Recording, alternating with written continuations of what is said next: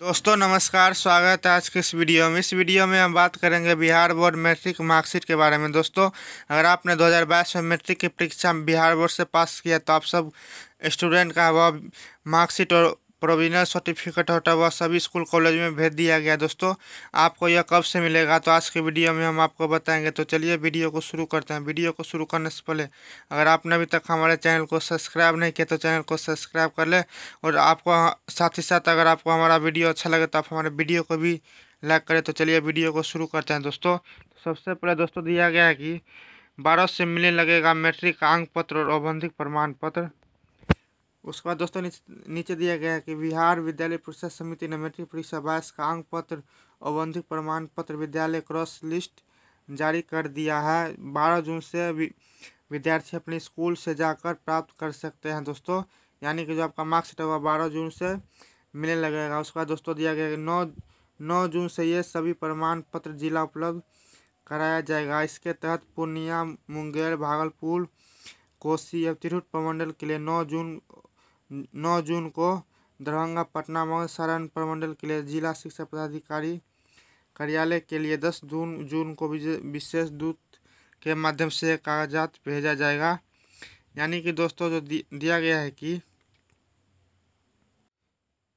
पूर्णिया, मुंगेर, भागलपुर कोसी तिरहुत प्रमंडल के लिए 9 जून से मार्कशीट और प्रोविजनल सर्टिफिकेट दिया जाएगा। उसके बाद दोस्तों, यहाँ पर दिया गया कि पटना, दरभंगा, मगध, सारण प्रमंडल के लिए दस जून जून से जो जो आपका मार्कशीट और सर्टिफिकेट मिलना शुरू हो जाएगा दोस्तों।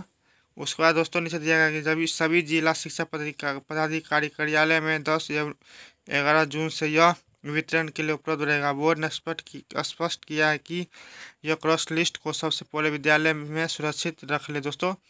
उसके बाद दोस्तों यहाँ पे साइड में भी दिया गया है कि शुल्क जमा नहीं करने वाले स्टूडेंट को नहीं मिलेगा अंक पत्र और प्रमाण पत्र दोस्तों यानी कि जिन स्टूडेंट का शुल्क जमा अभी तक नहीं हुआ होगा उन सभी स्टूडेंट का मार्कशीट और सर्टिफिकेट नहीं दिया होगा। दोस्तों यानी कि बोर्ड ने मैट्रिक परीक्षा बाईस के लिए रजिस्ट्रेशन परीक्षा शुल्क अब तक नहीं जमा करने वाले विद्यार्थी को प्रमाण पत्र नहीं उप, नहीं उपलब्ध कराने की बात की। ऐसे विद्यार्थी की सूची H T V dot secondary Bihar board online dot com पर अपलोड है। इन विद्यालयों के प्रधान नौ से पंद्रह जून तक बकाया राशि भुगतान यदि कर देते हैं तो उन्हें अंक पत्र और अन्य प्रमाण पत्र दिया जाएगा। यानी कि दोस्तों, आपके कॉलेज में का लिस्ट है, वह बिहार बोर्ड के वेबसाइट पर जारी किया गया और यह आपका प्रधानाध्यापक है, जो पंद्रह जून जून तक बकाया राशि जमा करेंगे तो आपका भी मार्कशीट और प्रोविजनल सर्टिफिकेट मिल जाएगा।